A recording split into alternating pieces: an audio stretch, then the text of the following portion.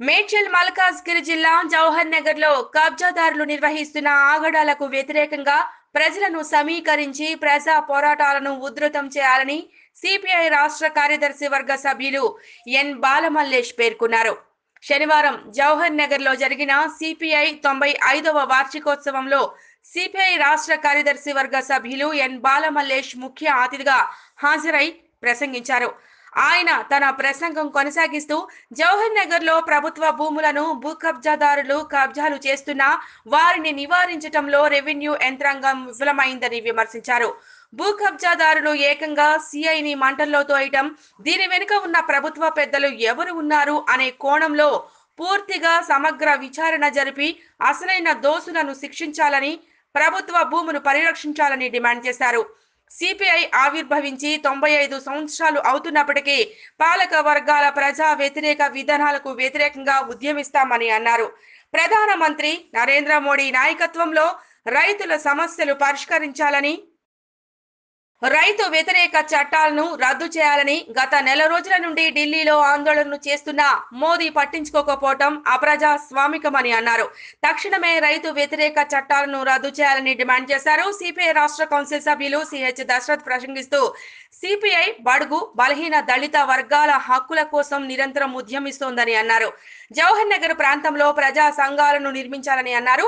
ఈ కార్యక్రమంలో కాప్రా మండల సిపిఐ కార్యదర్శి నిమ్మల నరసింహ జవహర్ నగర్ సిపిఐ కార్యదర్శి డి యాదగిరి ప్రజా నాట్య మండలి జిల్లా కార్యదర్శి వి వెంకటాచారి సిపిఐ నాయకులు కె సురేష్ పి నరసింహ సత్యనారాయణ కొమురయ్య అశోక్ చారి అపిఎన్టీయు నాయకులు కిరణ్ ఏఐటియుసి నాయకులు ఏ ఎల్లయ్య వెంకటయ్య రాజురెడ్డి ఎల్లయ్య రాజు యాదగిరి తదితరులు పాల్గొన్నారు. ఆవిర్భవించి తొంభై ఐదు సంవత్సరాలు గడుస్తూ ఉంది.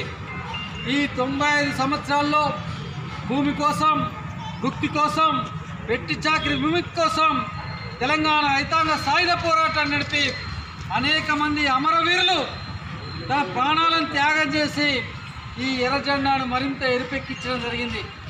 అలాంటి త్యాగదనుల మరి వాళ్ళ యొక్క జీవితాలను వారు నిర్వర్తించిన పోరాటాలను గుర్తు చేసుకొని మరొక పోరాటాలను ఉధృతం చేయాల్సిన అవసరం ఉంది. ఈరోజు మనం చూస్తూ ఉన్నాం ఈ దేశంలో మరి బీజేపీ రైతాంగ వ్యతిరేక విధానాలను కొనసాగిస్తూ ఉంది. మొత్తం కూడా మూడు రైతు వ్యతిరేక చట్టాలను పార్లమెంట్లో చర్చించకుండా రైతులతో చర్చించకుండా ప్రజలతో చర్చించకుండా ప్రజాప్రతినిధులతో కూడా చర్చించకుండా ఏకంగా ఆర్డినెన్స్ ద్వారా మరి చట్టాలను తీసుకొచ్చి ఈ దేశ రైతాంగాన్ని కుంగదీస్తున్న నేపథ్యంలో రైతులు ఎముకలు కొరికే చల్లే కూడా నెల రోజులు దాటిపోయింది. ఆందోళన నిర్వహిస్తూ ఉన్నారు. అది మామూలు ఆందోళన కాదు. ఇప్పటికే దాదాపు ముప్పై ఆరు మంది రైతులు అమరవీరులు అయ్యారు ఆ అమరవీరులు చేసిన మరి వారి త్యాగాన్ని మరింత ముందుకు తీసుకెళ్ళడానికి యావత్ దేశం రైతాంగం ఈరోజు పోరాటాలు నిర్వర్తిస్తుంది.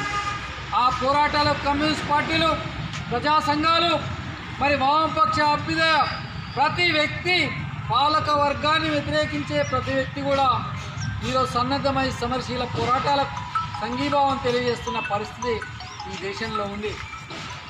మీరందరూ అనుకోవచ్చు అరే కమ్యూనిస్ట్ పార్టీలు అయిపోయినాయి పని అని. కమ్యూనిస్ట్ పార్టీలు పనులు ఎప్పుడు కాలేదు. ఈరోజు మీరు ఏ పత్రిక చూసినా ఏ టీవీ ఆన్ చేసినా మరి కేరళ రాష్ట్రంలో త్రిశూర్లో మరి మేయర్ ఎన్నికలు జరిగితే ఒక విద్యార్థి నాయకురాలు ఆమె ఈరోజు ఇరవై ఒక్క సంవత్సరాల లోపు మరి మొత్తం త్రిశూర్ మేయర్ అయింది.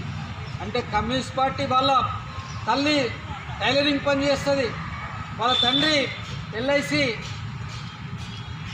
పాలసీలు చేపిస్తుంది